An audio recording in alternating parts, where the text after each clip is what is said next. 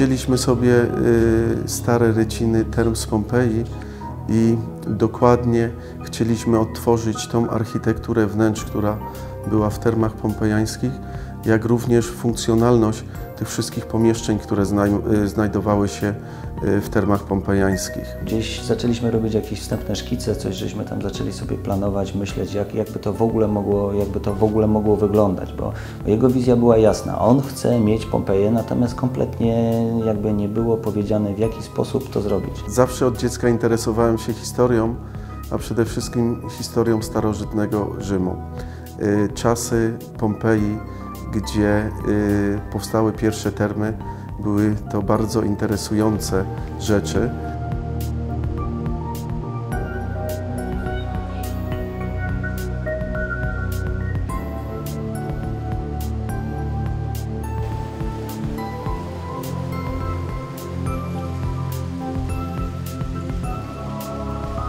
Którymś momencie doszliśmy do takiego etapu, że uznaliśmy, że Pompeje generalnie całą swoją urodę mają dzięki temu, że no, znamy je z, z historii, że one mają 2000 lat, blisko 2000 lat.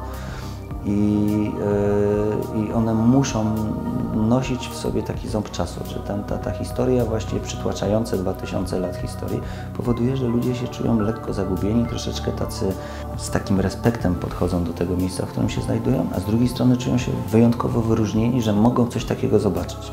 Uliczka Pompejańska y, powstała ze względu na układ komunikacyjny, który mieliśmy tutaj w piwnicach i staraliśmy się dokładnie wykorzystać te miejsce tych piwnic, tworząc taką uliczkę, gdzie z tej uliczki do, wchodzimy do poszczególnych y, atrakcji, którymi są łaźnie, pomieszczenia jak tepidarium, sauny i tym podobne.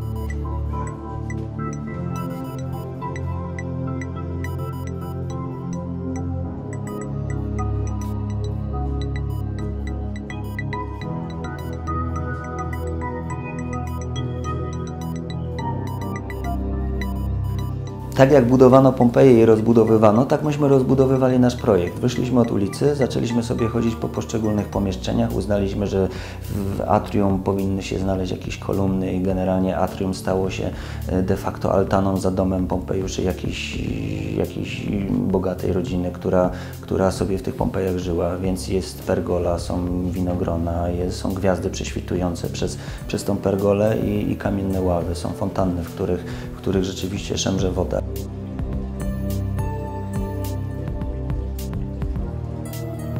Te elementy wyposażenia również znaleźliśmy gdzieś na starych obrazach, starych rycinach i starałem się, aby y, one zostały skopiowane i tutaj przeniesione do naszych wnętrz ze względu na to, że one dają niesamowity charakter tym wszystkim tutaj powierzchniom, które znajdują się w termach rzymskich.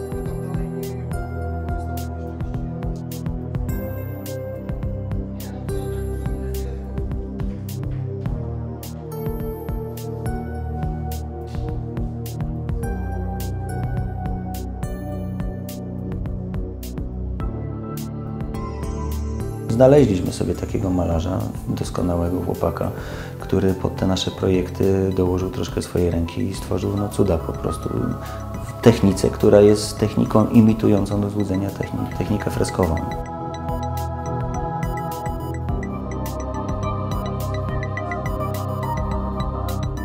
Adaptacja była bardzo trudna, bo piwnice, w których znajdują się teraz termy, nie były pełnymi piwnicami.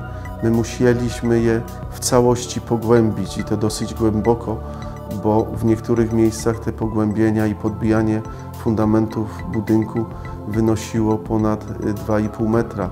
Także była to bardzo ciężka, powiedzmy taka górnicza praca, aby y, te pomieszczenia mogły się nadawać później y, w przyszłości do tej aranżacji, którą zrobiliśmy. Jest tak dużo tych detali, że poruszając się tutaj po całym tym obiekcie, człowiek w zasadzie cały czas czuje się tak mm, zagubiony w takim właśnie historycznym jakimś tam rytmie myślenia. Mamy elementy, które, które mm, pochodzą z czasów bardziej greckich I to jest taka, taka, taka pamiątka właśnie z czasów, z czasów, kiedy Pompejami władali Grecy jeszcze i pojawiły się w strefie recepcji VIP kariatydy, które są klasycznym elementem greckim, które można zaobserwować na, na Akropolu akurat.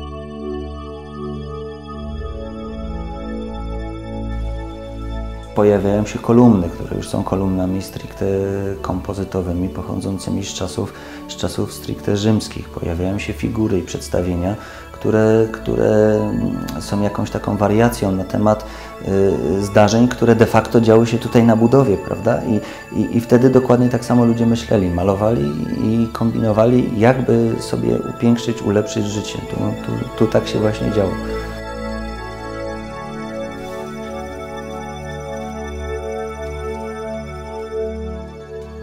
My mamy na dzień dzisiejszy y, trzy baseny, w tym jeden basen termalny wykuty w kamiennej grocie, tak jak to podobnie było w termach pompejańskich i ludzie, którzy korzystają z tej groty termalnej, która została uznana największą atrakcją w naszym obiekcie, są bardzo zadowoleni. Grota termalna to jacuzzi wykute w skale, nad nami świeci gwieździste niebo. Człowiek jest w stanie tam bardzo dobrze zrelaksować. Dodatkowo woda solankowa przenika również w głąb skóry, sprawiając bardzo dobre efekty. Przy okazji jeszcze właśnie hydromasaż, który e, pobudza nasze mięśnie, stają się rozluźnione, można się odprężyć w takiej wodzie, wymasować, tak jak mówię, ona jest dodatkowo ciepła, czyli rozluźnia nasze mięśnie.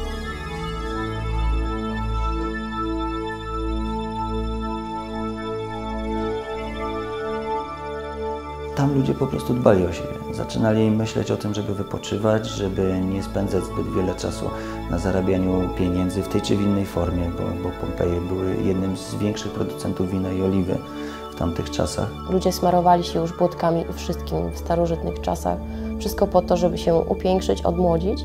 My również posiadamy takie dwie łaźnie dwu- i czteroosobową, gdzie wykonujemy właśnie zabieg rasu, czyli smarowanie glinkami na całe ciało. One mają cztery różne kolory, każdy działa inaczej, wygładzająco, odmładzająco, czy też właśnie peelingująco.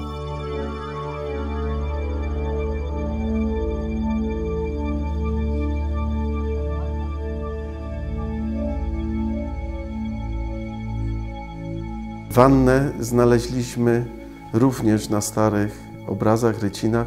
Była to wanna, w której kąpała się Kleopatra. Jest to wanna wykuta z jednego białego kawałka marmuru, cała rzeźbiona, potężna wanna, w której można wykąpać się również mm, we dwoje. Y, Tą wannę kazałem skopiować i odtworzyć, tak aby ona mogła stanąć tutaj w świątyni Kleopatry. Już wiadomo, że Kleopatra sama kąpała się w kozim mleku. My również robimy taką kąpiel, kąpiel z koziego mleka z dodatkami olejku różanego, olejku zwykłego oraz posypane płatki róż.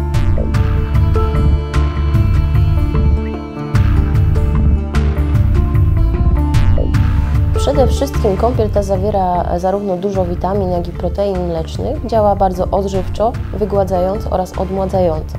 Dlatego właśnie sama Kleopatra się w niej kąpała. Jak wiadomo, była piękną młodą kobietą.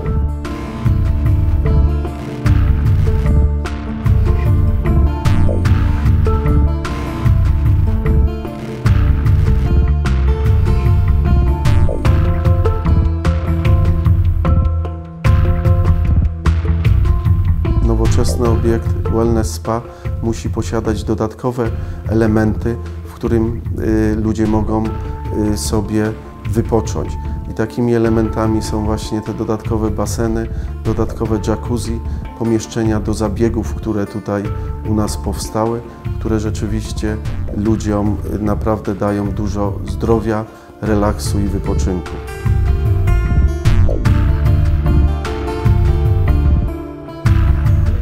Ceremonia hammam to jest typowy zabieg turecki, polegający na polewaniu na zmianę ciepłą, zimną wodą ciała, e, peelingu całego ciała specjalną rękawicą z koziego włosia.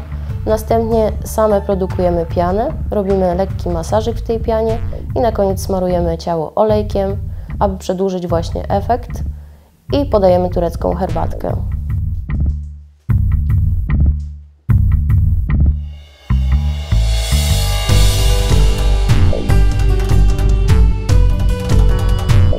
De facto Pompeje uchowały się i za, zachowały się dzięki temu, że właśnie był taki potężny kataklizm, który, który w 79 wieku, e, roku naszej ery e, po prostu zasypał gruntownie Pompeję popiołem wulkanicznym i, i, no i, dzięki temu widzimy, co tam faktycznie rzecz biorąc było. Zachowało się mnóstwo fresków, mnóstwo rzeźb, mnóstwo architektury. Oczywiście nie jest ona zachowana tak, jak myśmy to ją tutaj odzwierciedlili, bo tutaj jest to tylko i wyłącznie jakby sposób takiego przekazania treści, która tam gdzieś wtedy panowała i filozofii, która panowała. Chcieliśmy stworzyć tutaj rzeczywiście namiastkę tych term pompejańskich i większość łaźni i pomieszczeń, które tutaj są, y, posiadamy, zostały przeniesione z tych term z Pompeji i te pomieszczenia służą nam dokładnie tak jak Rzymianom 2,5 tysiąca lat temu.